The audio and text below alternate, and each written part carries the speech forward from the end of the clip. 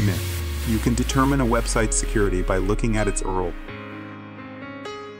Fact. While HTTPS indicates a secure connection, it does not guarantee the website's overall security.